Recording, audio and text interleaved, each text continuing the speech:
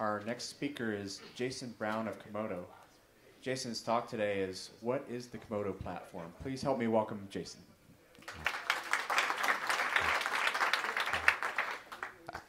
Thank you for having me here. Uh, my name is Jason Brown. I'm head of business development at. Oh, it's, oh, hold on. Can you hear me now? It's better. Oh, I don't think here.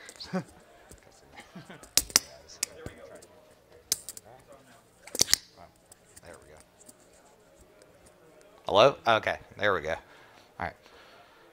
Hello, my name is Jason Brown. I'm head of business development at Komodo Platform.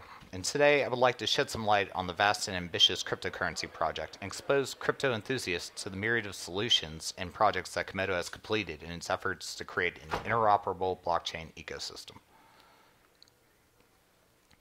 Komodo's goal is to provide the best technology of different blockchain aspects. To work towards that aim, Komodo platform combines privacy technology, like which is found in Zcash, blockchain development capabilities, like which is found in Ethereum and Neo, and decentralized exchange technologies like what's found in BitShares and Waves into a complete package for use by normal users and advanced developers alike.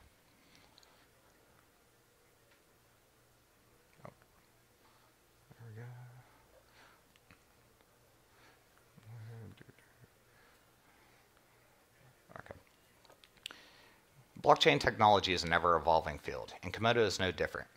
Komodo was initially built with cornerstones in privacy and security technologies. It has since evolved into a blockchain application platform which allows developers to build their own autonomous blockchains, utilizing as many or as little features of Komodo that they choose.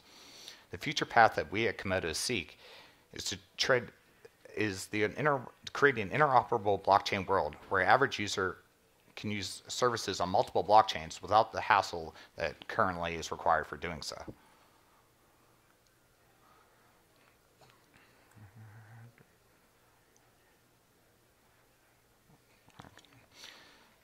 Komodo was forked from Zcash, and this choice to fork from Zcash came from the mathematically provable anonymity provided by ZK Snarks, which allows users to send transactions without revealing identifying information such as addresses coin and coin amounts used in transactions.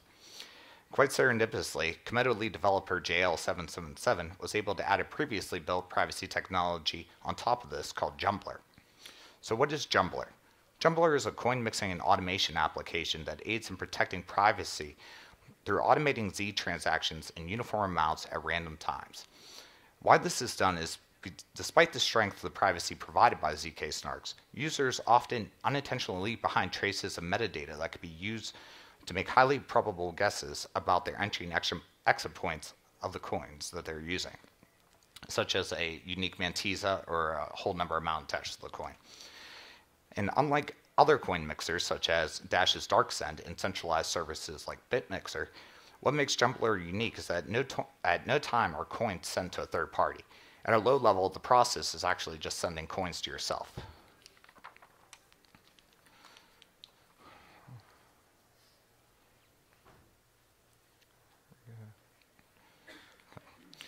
Komodo has also made efforts in enhancing blockchain security with its delayed proof of work model. In the Komodo network, 64 nodes are elected in what we call no notary nodes. These nodes are responsible for sending a group signed transaction to the Bitcoin blockchain containing information about the last valid block hash. This creates a checkpoint system on the Bitcoin blockchain where, in the unfortunate event of an attack, developers can reference a known good block hash to begin the recovery efforts.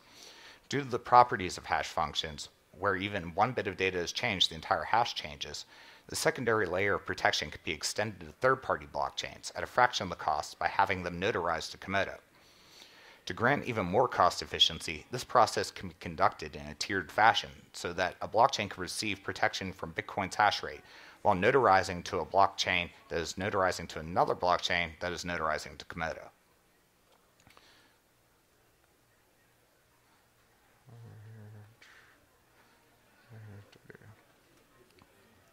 Security and privacy are essential to a blockchain. Being public ledgers with some kinds of records, sometimes parties would like to keep their information private and not exposed to the public in any degree that they can prevent. For certain types of information, privacy features are critical, such as credit scores or medical records. Security is essential to blockchains for obvious reasons. Out of all the consensus mechanisms out there, proof of work is most provably secure. However, due to the nature of proof of work, it may not be feasible to secure a blockchain with that method for many smaller entities. Delayed proof of work was created with that in mind to, and offers that protection at a fraction of the cost. Oh, sorry, I didn't realize it uh, didn't go through. There we go.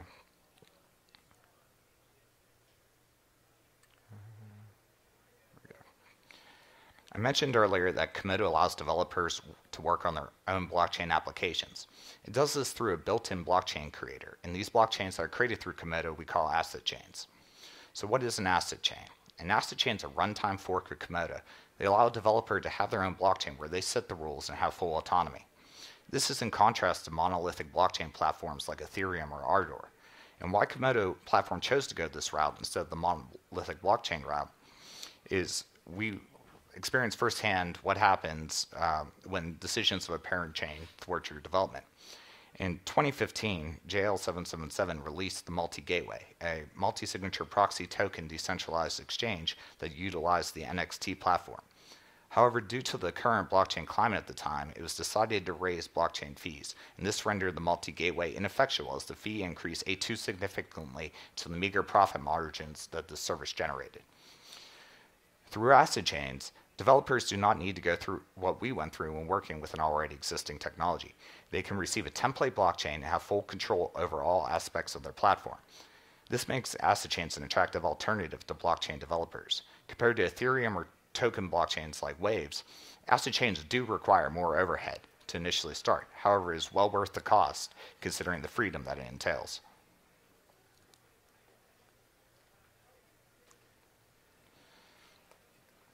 By default, asset chains comes with many of the same features as found in Komodo, such as 2 megabyte block size and ZK snarks. However, it is also equipped with on-demand mining, which allows operators of asset chain networks to reduce network power consumption by only mining blocks when transactions are detected in the mempool. Many smaller blockchains often mine empty blocks. This amounts to wasted energy.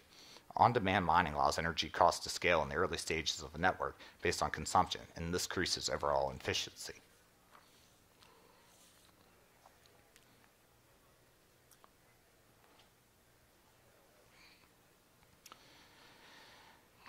Asset chains, along with the privacy technology Jumblr and the atomic swap technology BarterDEX that we'll talk about in a moment, allow for a unique take on a familiar blockchain application, the ICO, with our own version, the decentralized ICO.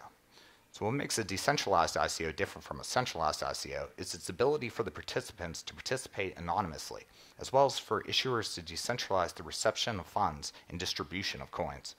This makes it much harder to be hacked and also provides mitigation against whales buying up all the ICO within minutes, as a whale would have a hard time buying from all locations at once without others having their orders filled.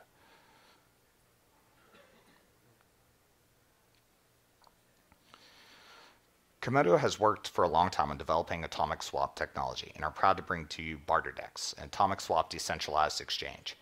BarterDEX allows users to trade cryptocurrencies trustlessly peer to peer Unlike other kinds of exchanges, you control the private keys at all times and trade using real coins, not using proxy tokens. BarterDEX operates more like an auction house than an exchange, but in, this in no way diminishes its utility. Many of the popular exchanges, exchanges have, due to legal obligations, restrictions on who can trade their, on their exchange, both for new coins and users. And often these obligations require um, limits to withdrawals that a user can have per day. BarterDEX being a protocol for trustless exchange, rather than an entity running an exchange service, cuts out the middleman of these transactions. The peers participating in BarterDEX handle all the order matching, clearing, and settling, and have none of the restrictions that bother people when using centralized exchange services. In addition to being used as a crypto exchange, BarterDEX can be launched, used to launch decentralized ICOs, be used as a marketplace for blockchain based goods and services, or be used independently as a private securitized token marketplace. The possibilities are only limited by your imagination.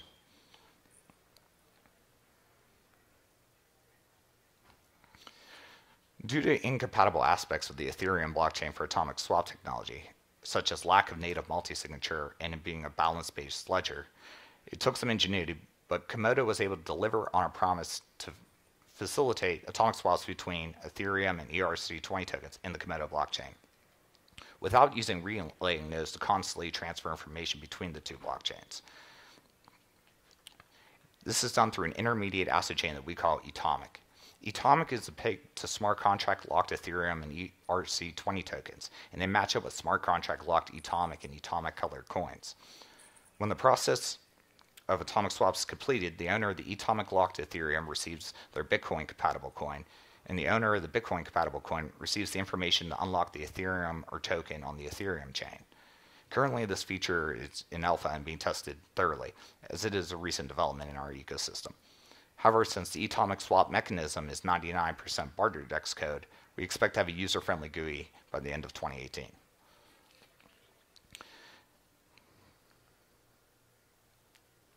Uh, currently, we are looking for more beta testers to tel- test swapping coins on our platform. We extend this invitation out to anyone who has an interest in this technology. It is important to note that you do not need Komodo to use BarterDEX. Many coin pairs are available to trade, and if you're leery to using your own coins to test out this technology, the Komodo community would be happy to provide test coins for you to use.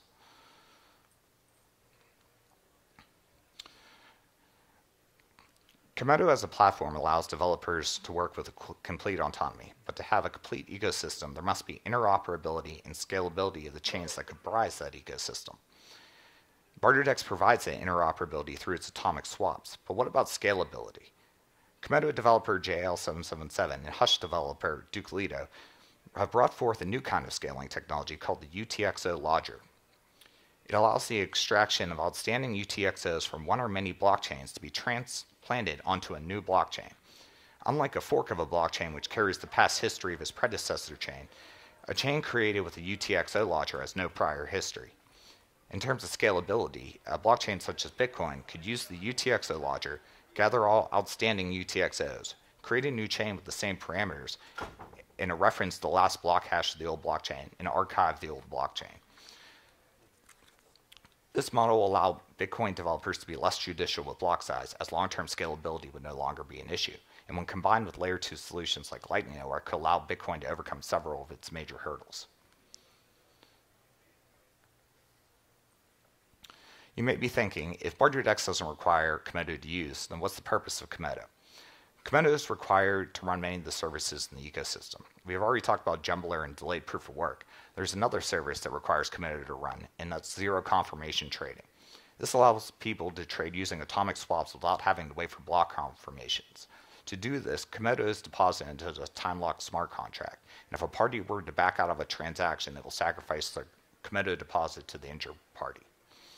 Beyond this, it is expected Komodo will play an upcoming role in other Komodo developments, such as decentralized poker and gaming, as well as being the currency of choice for revenue sharing amongst several up and coming Komodo asset chains.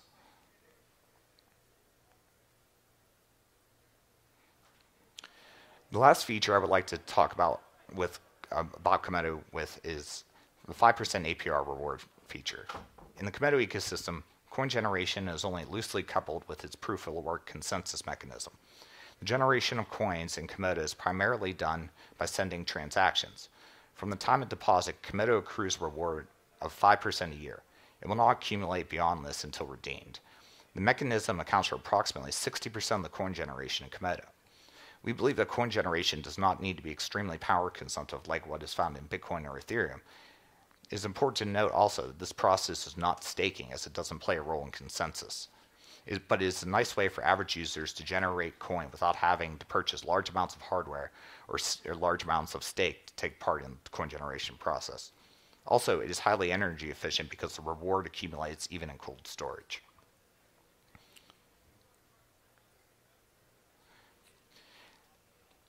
In 2018, we are looking forward to progressing with our technology and our outreach. Technological developments on the pipeline include mobile wallets, improved interfaces for Komodo products, and the soon to be released AtomicDEX, which is an easy to use version of BarterDEX. We've also made some new hires and are investigating strategic partnerships.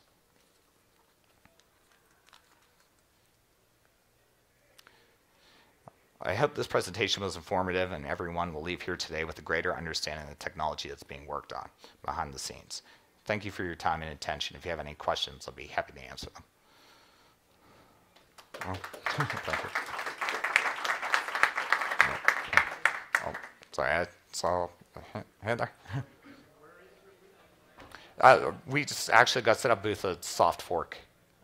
Yeah, sorry, it's not here. I, yeah, I wasn't sure what. Yeah, we didn't really. Sorry about that. Yeah, but it's at the soft fork.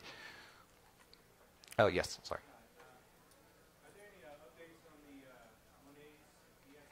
Uh, currently, Monaize is, is working restructuring its model. Uh, if you probably have heard about Wavecrest being uh, shut off from you know Bitcoin services. That was part of their business plan. Um, additionally, there's been regulatory concerns that they're facing uh, with their company in Singapore, so they are currently working the, those issues out. Um, on the Komodo end of it, though, our, our technology is uh, we're fully ready to launch a DICO, and if Monaize isn't the first, there's going to be another one very soon. Anyone else? Okay. Well, Thank you for your time.